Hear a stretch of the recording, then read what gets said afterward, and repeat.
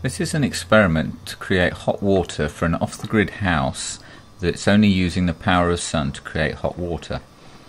I was gifted two solar panels. So on the left was um, a clear plastic pipe and we poured in some cold water and the water runs up the, the solar panel and you can see the bubbling is the water heating up. Uh, right. A free kettle. The first experiment was uh, very successful and surprised us how quickly it heated up water, which was almost instantaneously. So what we did was we decided to fill up the cold side again and to see how it worked with a, a fresh batch of cold water. We'd lost some of the Okay, hot water there. as it was boiling off whilst we were working inside the shipping container. So Robin's filled it up, and now what's happening is the sun's warming up the water. It's uh, late afternoon, and it's already started to boil.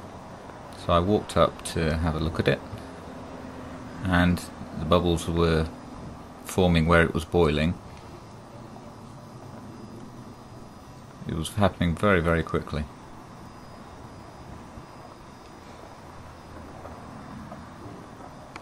You can certainly make a cup of tea with that. And it started to spit and start boiling over, so I took a few steps back, I think, at this point.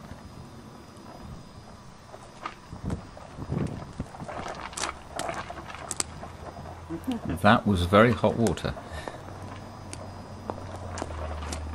And we consider that a fantastic success. So these panels definitely work and are worth using.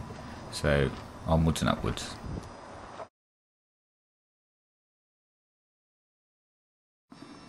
Now this is connecting it up with slightly more sturdy pipework. So the silver drum is a dustbin from a local shopping centre. The black pipe is polypipe used in water irrigation systems, just some flexible black piping.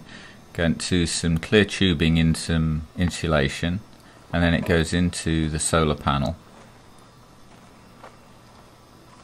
You can see the reflection, the reflectors underneath have been painted black through the insulated flexible pipe. This is the hot side coming into the bucket, which is our hot water tank.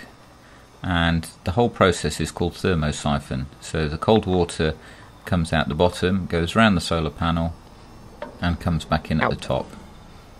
And that's creating hot water. And we needed to turn it off at one point during the day. And we put a blanket over it, and that made it stop boiling. So we'll keep you updated.